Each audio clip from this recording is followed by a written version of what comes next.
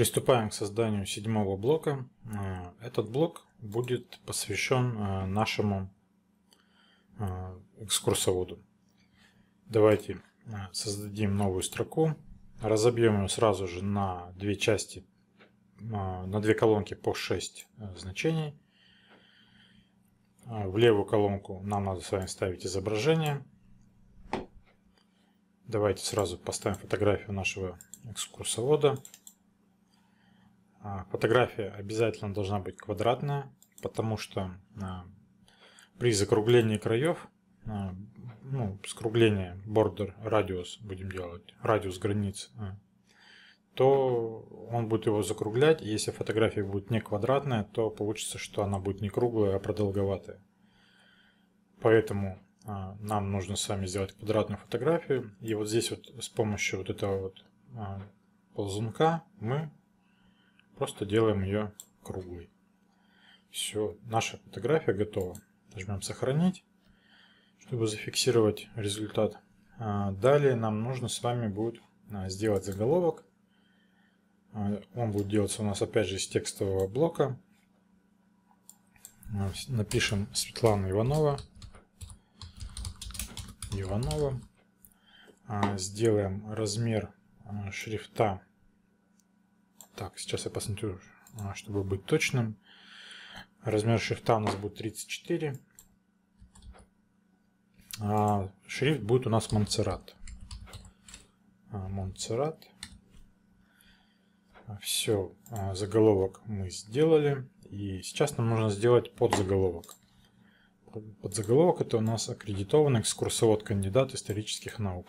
Копируем и вставляем. А, можно просто, в принципе, продублировать предыдущий а, предыдущее дополнение и здесь просто изменить а, на наш текст. Сделаем редактор, посмотрим так, здесь, что у нас применилось. А, удалим просто размер 34, оставим стандартный. И нам нужно также будет убрать... Так, минутку, сейчас я посмотрю, какой там у нас используется шрифт. Шрифт также, кстати, используется Монсеррат, поэтому я зря его удалил. А, ставим Монсеррат. А, но у нас с вами здесь еще а, есть жирность. Жирность у нас должна быть 300. Так, сейчас я посмотрю опять же. Да, 300 значений. Мы выделяем текст, жмем стили в редакторе и выбираем 300. Применить. Все, наш шрифт э, у подзаголовка стал потоньше. Дальше смотрим. А, нам нужно уменьшить расстояние между а, заголовком и подзаголовком. Как это сделать? А, нам нужно просто, во-первых, у дополнения сверху взять и прописать нулевые значения. Далее снимаем замочек и вот у нижнего значения нам надо поставить отрицательное значение, где-то минус 20 пикселей. Сохранимся, а посмотрим на примере. Все примерно так же. Давайте обновим страницу и посмотрим. Все, наш блок вот создан, фотография, заголовок, подзаголовок. А далее а, на примере у нас идет описание нашего экскурсовода. А, скопируем текст. Давайте а, поставим еще один текстовый блок. Перенесем его а, на наш сайт. Вставляем текст. На всякий случай через вот эту вот функцию. Ставим здесь так Краснодарского. Здесь ошибка. Краснодар. Так, Краснодарского края.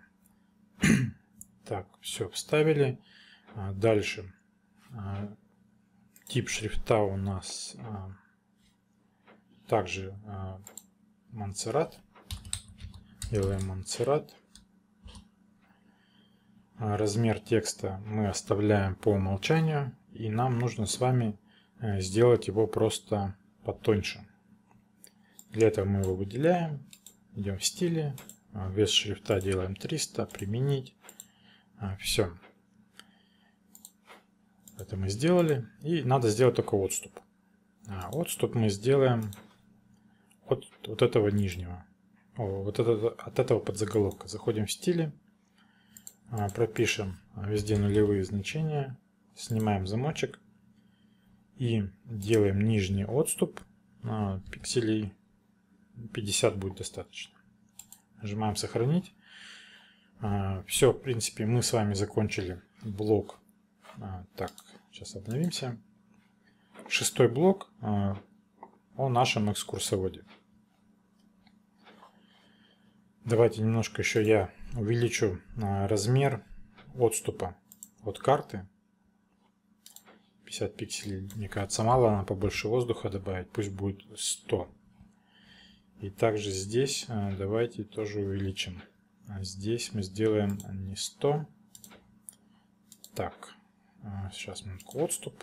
Не 100, а здесь мы сделаем 150.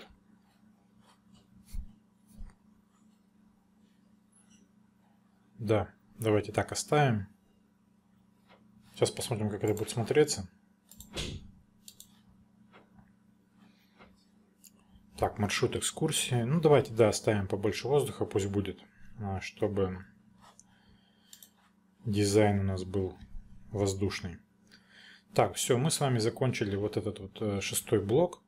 А, давайте на этом остановимся. А, в следующем видео уже разберем, как сделать блок отзывы и будем уже завершать создание нашего одностраничника.